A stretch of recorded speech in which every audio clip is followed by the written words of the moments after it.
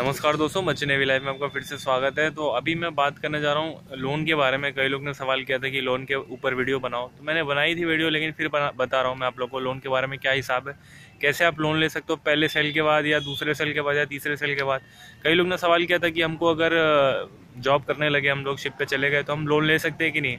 मतलब दस लाख का, पंद्रह लाख का, बीस लाख का, अपने हिसाब से लोन ले सकते कि नहीं?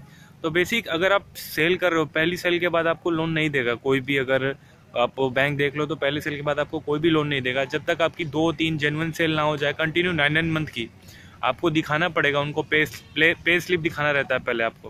पहले मंथ में आपको ढाई सौ या तीन सौ या कोई भी रैंक पे जाओगे तो पहली बार इतना ही मिलेगा, ज़्यादा से ज़्यादा आपको सैलरी तो बेसिक उन लोगों का यही है कि आपको दिखाना रहेगा कि आपकी सैलरी कितनी है। पर मंथ आप कितना कमाते हो, कितने मंथ आपकी सैलरी आती है आपके अकाउंट में तो उस हिसाब से आपको लोन दे सकते हैं।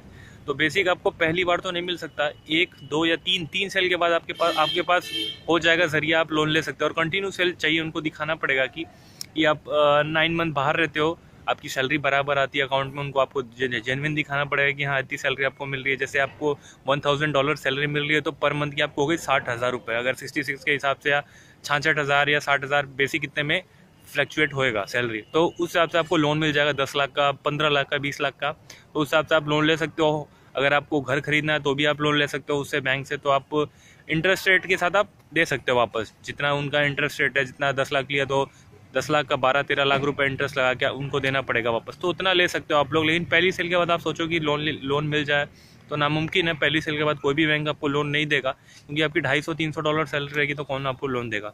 मतलब पंद्रह बीस हज़ार रुपये तो पहली बार आपको नहीं मिलेगा। लमसम आप दो तीन सेल मार लोगे उसके बाद आप कंटिन्यू तो आपको जेनविन कोई भी बैंक में जाओगे तो आँख बंद करके आपको लोन मिल जाएगा। चाहे हाउसिंग लोन लेना है लैंड लोन लेना है या कोई भी आपको दुकान वगैरह खोलनी है उस हिसाब से लोन लेना है तो आप ले सकते हो। और एक और क्वेश्चन था कि लोग पूछ रहे थे कि हमको आ, मतलब कॉलेज में एडमिशन चाहिए तो हमको लोन मिल जाएगा कि नहीं? तो यार देखो कॉलेज में एडमिशन लेने के लिए कॉलेज वाले कोई आपको प्रोवाइड नहीं करेंगे लोन का ऑप्शन आपको अपने हिसाब से करना पड़ेगा। जैसे आपको तीन लाख फ़ीस है तो आपका अगर खेत वगैरह है लैंड वगैरह है, उसके ऊपर आप लोन ले सकते हो।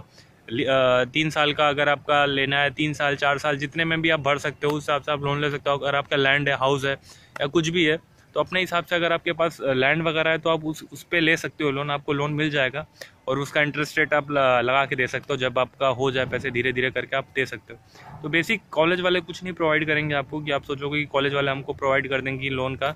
कॉलेज वाले नहीं करेंगे, आपको खुद जाना पड़ेगा। बैंक में पता करना पड़ेगा लैंड वगैरह आपके पास है तो आपको लोन मिल जाएगा। कोई बिना कोई दिक्कत के लैंड वगैरह होगी तो आपको आँख बंद करके लोन दे दिया जाएगा, कोई दिक्कत नहीं आएगी लैंड वगैरह पे तो।